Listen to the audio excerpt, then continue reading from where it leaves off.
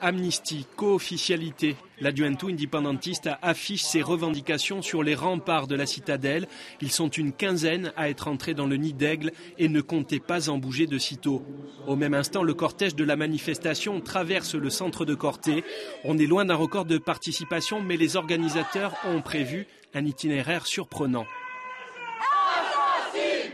Eh bien, pour une fois, c'est nous qui allons les contrer. On va vous demander de nous suivre, s'il vous plaît. Merci.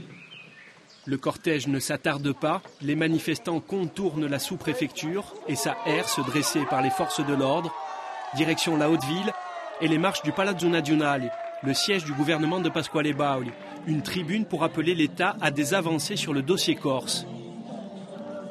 Le FLNC a pris la décision historique de mettre fin à ce conflit en entamant un processus de démilitarisation l'an dernier, en signe de paix. Et la France a refusé cette paix.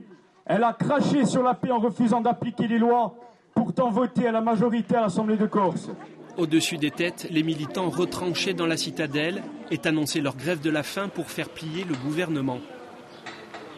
Nous avons besoin de ces réponses parce que aujourd'hui, on n'arrive plus à avancer, tout simplement, que ce soit au niveau de la jeunesse ou des plus anciens. Et ça ne sera plus possible. D'ici quelques temps, ce ne sera plus possible et on va rentrer dans un vrai chaos. Des manifestants solidaires de ces grévistes de la faim qui ont joué l'effet de surprise, le tout dans le calme.